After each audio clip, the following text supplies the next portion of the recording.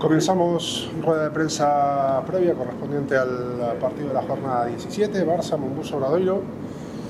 El entrenador Moncho Fernández contesta vuestras preguntas. Buenos días, Moncho. Feliz año primero.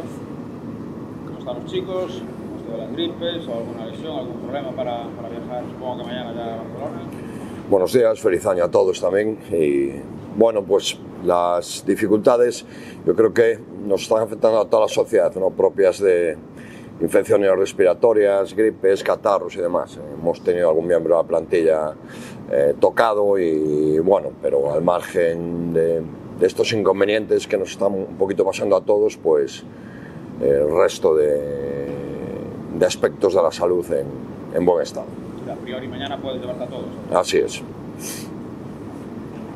¿Cómo analizasteis ya con más calma, reposo y demás lo, lo, del último partido? Sobre todo ese último cuarto, ¿no? Sí. El equipo, explicación, no se, pudo, no se consiguió igualar el despliegue físico y de energía del rival, o fueron errores baloncestísticos de un poco todo. Hombre, los, la verdad que ya ha pasado tiempo ¿no? y estamos ya muy centrados en lo que viene, pero eh, digamos que hay dos, dos eh, datos que son, yo creo que muy explicativos. ¿no? Por un lado, pues tienes 20 rebotes de ataque, eh, lo cual implica, es una cifra increíble, que lo hemos conseguido, hemos hecho 10 tiros más que el rival. Y cuando hablas de rebote de ataque hablas de deseo, de, de trabajo, de intención, ¿no? lo que siempre le pedimos al equipo. Pero los transformamos en 6 puntos, nada más, es una cifra paupérrima. Y luego el otro gran problema han sido las pérdidas, ya no solo por el número en sí, que no es que sea muy grande, sino que la penalización de las pérdidas por parte del rival fue, fue muy alta. Y yo creo que esas dos grandes cifras son las que explican el, el que hayamos perdido el encuentro, sin ningún tipo de dudas. Además del talento ofensivo que tiene, como es lógico y normal un equipo como el Barça, sigue manteniendo también aquella agresividad eh, defensiva muchas veces destacabas con el anterior técnico que tenía, ¿no? La mantiene esta plantilla y con Grimao como técnico. Bueno, son estilos diferentes, pero sí es cierto que, bueno, todos habéis visto el partido contra el Madrid, ¿no? Y donde realmente han, han estado a un nivel altísimo desde el punto de vista defensivo. Eh, son un equipo que en casa, bueno, pues están siendo de los mejores de Europa, ¿no? Han perdido un partido con Manresa, han perdido un partido con Mónaco, perdón, con Milán y, y el resto lo, lo, han ganado. Es un equipo que en casa tienen números de, de campeonato, ¿no? Quizás han tenido más irregularidad fuera, de, fuera del Palau, pero en casa siguen siendo bueno, pues lo que son, ¿no? un transatlántico. ¿La profe termómetro? No, yo creo que todo el equipo, porque hay, ha habido partidos donde la Pro no ha jugado tan bien y el equipo ha ganado, ¿no? pero es que reducir a un jugador una, una plantilla donde están pues, eh, Kalinic o Satonaski o Vesely, bueno, por eh, llevar igual, que por no seguir, ¿no? es absurdo. Eh, yo creo que es minimizar demasiado, reducir demasiado. Son, son, un gran equipo y una gran plantilla.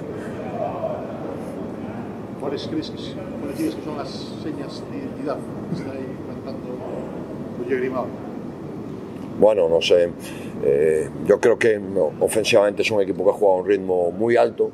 Eh, y desde ahí intentan bueno, pues generar, generar ventajas, lógicamente. Luego me parece que en la media pista es un equipo que aprovecha eh, muy bien las habilidades técnicas de, sus jugadores. No son solo un equipo de pick and son un equipo con mucha variedad de posteos, desde el 1 hasta el 5 prácticamente. Te diría que el único que no postea es el 2 porque es la Provítola y Brizuela, pero el resto postean todos, por ejemplo. Salidas bloqueadas, tanto para los aleros como para los cuatro. Es un equipo con, mucha amplitud playbook amplio desde el punto de vista táctico. Y defensivamente es un equipo que ha ofrecido muchas variedades, desde la presión a toda pista, eh, les hemos visto la zona contra Mónaco el otro día cinco jugadores grandes cambiando todos los bloqueos contra Real Madrid, defensas agresivas, conservadoras, negar el bloqueo, un equipo que se adapte, que prepara muy bien los, los partidos. Yo creo desde fuera, sin hacer un análisis más profundo, habría que preguntarle a, a pues esto es lo que me ha parecido que es el Barça. Moncho, yo quería preguntarte, porque estamos aquí en el pabellón de, de Argentinas, que estuviste en la última ocasión cuando presentaron el álbum, y recuerdo que había un cartel de Somos Barrio, sí. hablaste tú cuando hablaste del grupo, que aprovechando la ocasión quería preguntarte un poco cómo es ese cambio, cómo era ese Moncho cuando entrenaba en Pontevedriña al Moncho actual, un técnico consagrado en ACB, qué es lo que ha cambiado y qué es lo que sigue igual. Bueno, lo que ha cambiado, pues son casi 40 años, ¿no? Eh, para ser exactos, pues 37 años, ¿no? Cuando empecé a entrenar. Eh, y lógicamente, pues a lo largo de, de, la vida vas adquiriendo no solo conocimientos, eh, sino experiencias, y no solo baloncestísticas, sino de la propia vida, y pones en valor unas cosas eh, que antes no ponías y viceversa, ¿no? Eso lo, lo, primero. Me gusta pensar que sigo amando este juego como el primer día, que sigo teniendo la misma pasión que tenía cuando eh, teníamos que jugar pues, bajo la lluvia ¿no? y en pistas de, de asfalto. Y tengo gratos, muy gratos recuerdos de esos momentos porque ahí es donde empieza la chispa de lo que fue una pasión que acabó convirtiéndose en, en, en mi profesión. Quiero seguir pensando que eh, antes de cada partido. Quiero seguir pensando, no, los, lo pienso y lo siento, pues tengo los mismos nervios que tenía cuando tenía 17 años. ¿Más preguntas? Finalizamos rueda de prensa entonces.